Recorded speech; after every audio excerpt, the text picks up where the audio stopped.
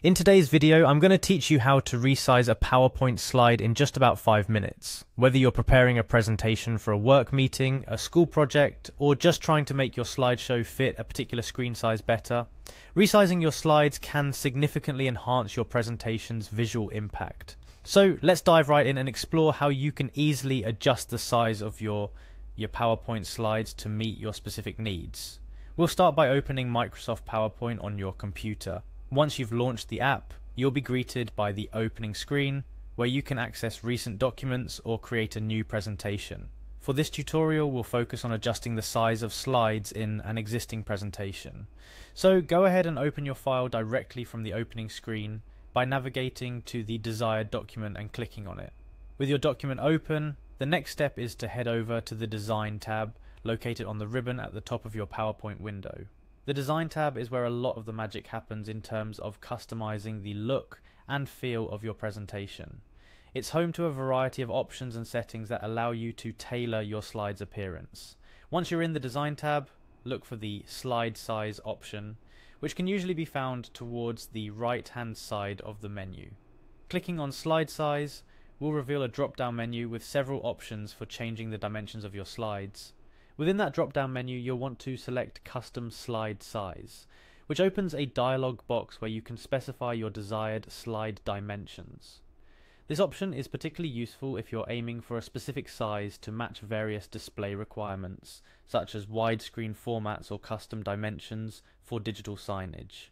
In the Custom Slide Size dialog box, you'll notice that PowerPoint provides a list of predefined sizes that you can choose from. These commonly include options like standard, 4, 3, widescreen, 16:9, and others tailored to specific devices or purposes. However, if none of these predefined options meet your requirements, you also have the ability to enter custom dimensions. Simply input your desired width and height, ensuring that you're selecting the correct units, inches, centimeters, pixels, etc. for your specific project. After you've made your selection or entered your custom dimensions, click on OK to apply the changes. PowerPoint might prompt you with a message asking how you want to scale your existing content to fit the new slide size. You'll typically have two options here. You can either maximize your content to fill the new slide size, or ensure that it fits within the new dimensions, potentially leaving some empty space on the sides or top and bottom. Choose the option that best suits the look you're going for in your presentation. And there you have it, you've successfully resized your PowerPoint slides. This simple adjustment can make a big difference in how your presentation looks and feels on different displays or projectors.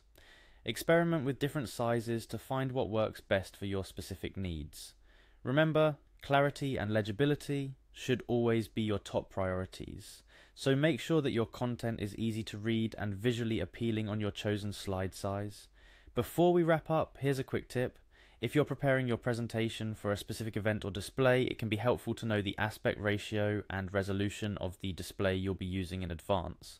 This information can guide you in choosing or customizing your slide size for the best possible fit and visual quality.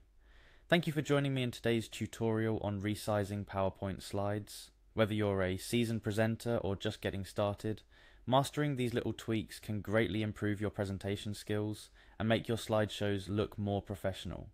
Don't forget to like, share and subscribe for more helpful guides and tips. Happy presenting!